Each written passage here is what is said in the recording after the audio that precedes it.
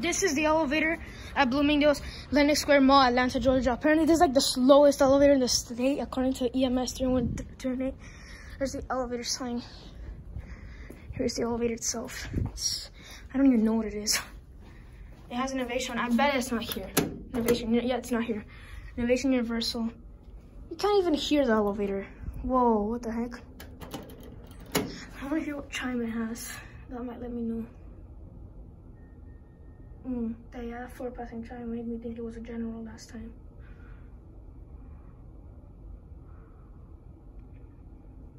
I hope it has a chime. Even if it's bad, I hope it has one. It doesn't have one. Lights up white if you look at it with human eyes. It's not even here yet. And the thing is already lit up. Oh, here it is. So you can see it level. Here's the. Whoa.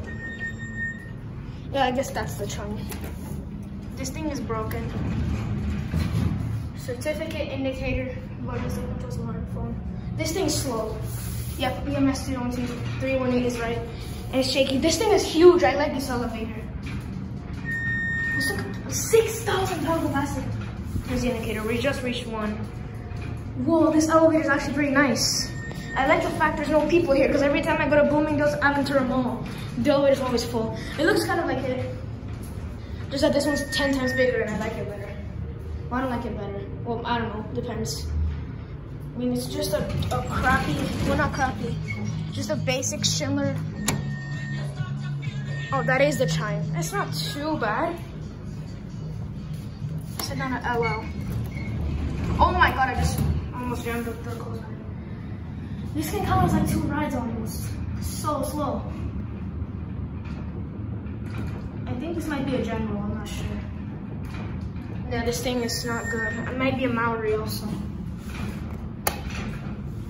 I'm gonna have to watch the indicators. It's gonna take so long for me to let my fingers down. This thing's so shaky. You guys can hear.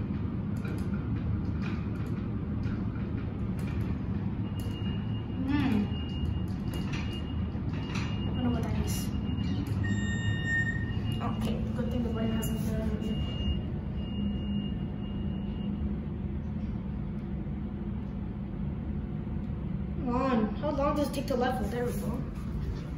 And it's not even leveling yet. Oh, it actually was. Alright.